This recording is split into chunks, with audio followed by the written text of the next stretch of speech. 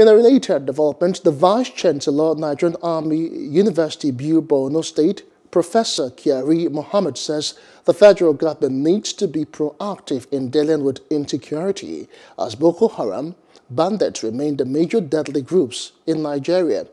The Vice Chancellor also says the Nigerian government must stop using back-channel dialogue where hefty ransom is paid but rather adopt a comprehensive national security architecture to end insecurity in the country. Professor Kyari Mohammed, while giving lectures during the 12th convocation at the Adamawa State University, urged the federal government to do everything possible to bring an end to the insecurity situations in the country before it will be too late for them to contain. In the short term, the best way of dialogue is to defeat Boko Haram if we. Defeating Boko Haram means defeating the very strong sections and elements of the violent extremist group. And then you can now sit on the table with the decapitated and weakened group, you know, with a view to bringing peace. The Adamawa state governor congratulates the university and assured them of his government's readiness to fix all that was destroyed by Boko Haram.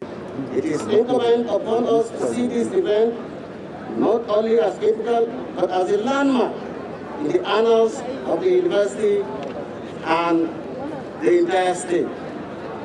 Most significantly, it represents a watershed in the lives of most of the graduates who have waited too long for this day.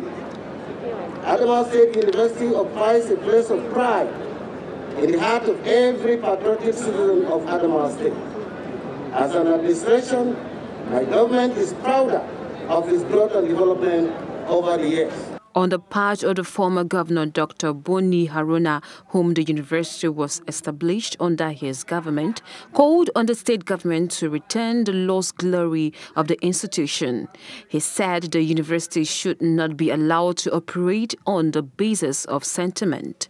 The Vice Chancellor at Adamawa State University, Professor Kaletapwa George, said Boko Haram has caused a lot of damage on Nigerian universities, urging the government to beef up security in all the schools in Nigeria. I grew up in this town. When you look at your left-hand side, was my sister's house when she was teaching here. She was a teacher here. I, I am part and parcel of this community there is no justification for us to take decisions on major issues that can enhance our collective decisions, I mean development.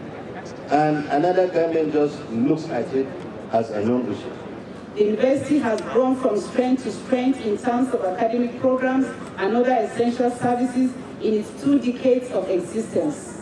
This is coupled with the fact that many academics have left the system during those old harrowing days and some have retired.